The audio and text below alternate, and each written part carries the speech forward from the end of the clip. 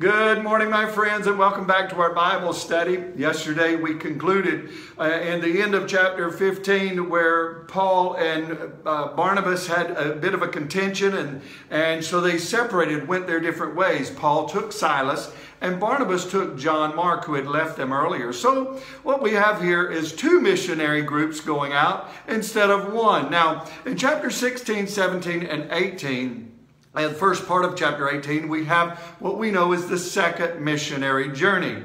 And uh, in the second missionary journey, the very first part, we find that there's a man named Timothy, young preacher, young man named Timothy, that joined Paul. And um, his mother was a Jew and his father was a Greek. Now, the significance of Timothy is later on, he is going to become a pastor, and Paul is going to write two letters to him. And we'll talk about that later on, first and second Timothy.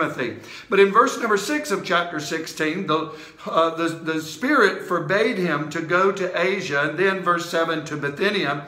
And uh, but when the Lord closes one door, He usually opens another door, and this is what happened while he was at Troas in verse number eight. Um, uh, he had what we called a Macedonian call. He had a vision of a man saying, "Come over here, come to me. We need you." You know, and you can read that. And uh, so he uh, left uh, there at Troas and went to Philippi, which is in Macedonia. Now, while he was in Troas, there's some significance that uh, uh, the verbiage here in verse number 10, you will notice uh, that Luke, the writer, says we, and he begins to use the word us, which means that Luke joined them there in Troas and went to Philippi. Uh, you can see also that that verbiage changes after uh, Philippi, and most likely uh, Luke was not with him. He stayed there. And in, uh, uh, in uh, Philippi. So in verses number 16, verse uh, uh, and following, Paul and Silas, because of delivering a slave girl from demons, and she was bringing profit to some people there in Philippi, some men, and they delivered her, and they ended up persecuting Paul and Silas and put them in prison. Now, we know the story about Paul and Silas being in prison. They were singing, and as they were singing, uh, you know, the whole, uh, the, the, there was an earthquake and, and the gates fell open and the doors came open and, and so on. And, and the jailer uh, was going to kill himself and Paul and Silas stopped him. And, and there's a statement that the jailer said that I think is significant and important for all of us. He said, what must I do to be saved? That is a great question, my friends. What must I do to be saved? And Paul in chapter 16, verse 31, they said, Believe on the Lord Jesus Christ, and you shall be saved in your household. My friends, if you're here and watching us and you don't know exactly what you need to do, I want to just tell you, you believe on the Lord and you confess your sins and you will be saved. You got to trust Him and believe Him and choose to follow Him. And so then after Philippi, they went to, in chapter 17, they went to a place called Thessalonica. And in Thessalonica, they uh, received some persecution. I want to read verses 5 and 6. Uh, but the Jews were jealous, and taking some wicked men of the rabble, they formed a mob, set the city in an uproar, and attacked the house of Jason, seeking to bring them out to the crowd. And when they could not find them, they dragged Jason and some of the brothers before the city authorities, shouting, These men who have turned the world upside down have come here also.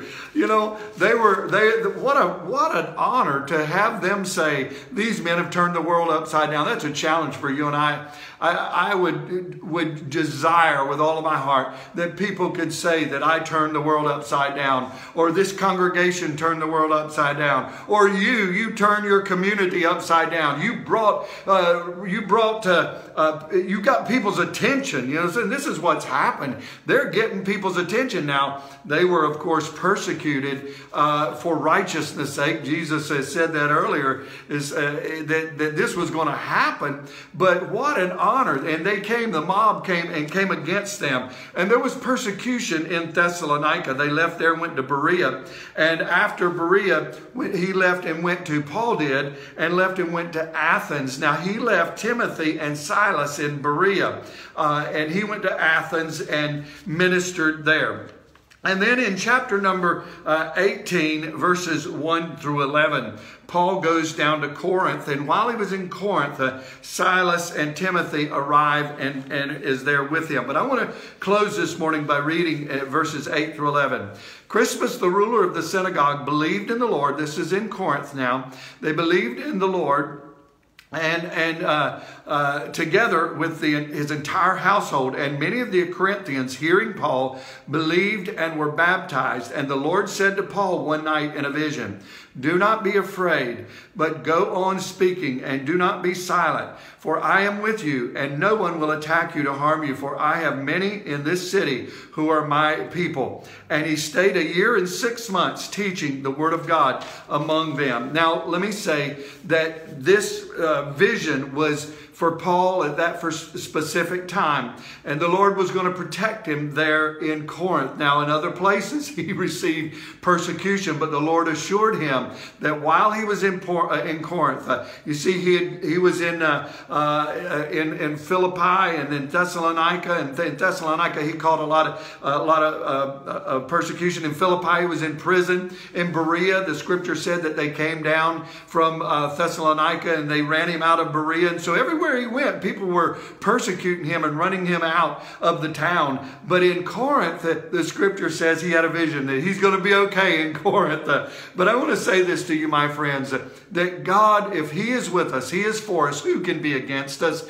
He never leaves us nor forsakes us. And in this culture, in this time in which we live, we can't be quiet. It's no time for us to stop preaching the gospel and stop declaring the good news. Uh, we have to declare there's so many people in our town, in our community, in our world, uh, uh, in our country that, that they need to hear some good news. They need to hear the hope. And just as the Lord said, don't be afraid to, uh, to go, but go on speaking and do not be silent. Uh, and I challenge you today to do the same. Go on speaking. Do not be silent. Uh, you know, uh, we, we must proclaim the word of the Lord. We must be a spokesperson for God. And so I encourage you to do that. And he stayed a year and a half there. And while he was there, he had, you remember Silas and, and Timothy came from Berea, and uh, he was asking, uh, uh you know, uh, about them. They were reporting what had, had take pl- uh, taken place. Anyway, he wrote his first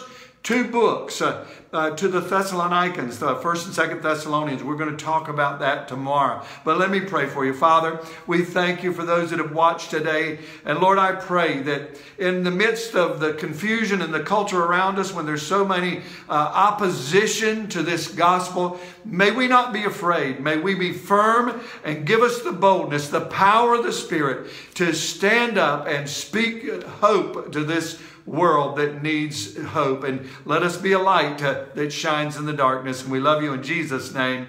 Amen. God bless you. We look forward to seeing you tomorrow. Bye bye.